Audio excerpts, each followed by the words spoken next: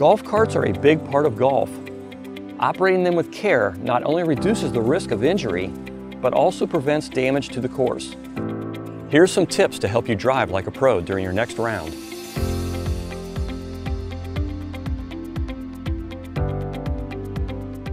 Signs and ropes guide the flow of traffic throughout the course. At times, certain areas may be closed to minimize turf damage and assure your safety.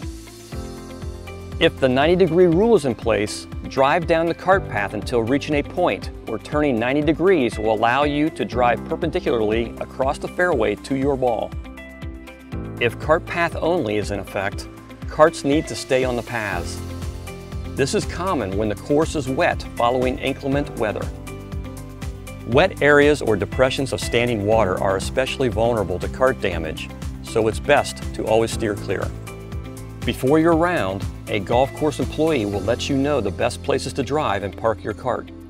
However, golf carts should never enter naturalized areas because the traffic can be especially damaging to the vegetation and wildlife.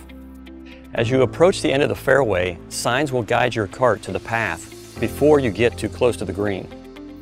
Even pull or push carts can cause damage, so they too should never be operated on tees or greens. Instead, take your pull cart around the outside of greenside bunkers and always park it 15 to 30 feet from the edges of tees and greens.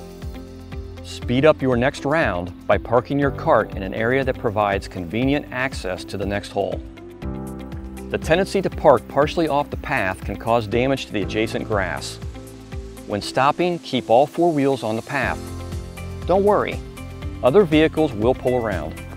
New golf cart technology is making golf more accessible than ever before. Specially designed accessible golf carts provide opportunities for those with disabilities to enjoy a round of golf, while several new variations of golf carts aim to help speed up pace of play and add to the golfing experience. So, no matter your choice of wheels, remember to drive with care and a little common sense to keep the course in great shape.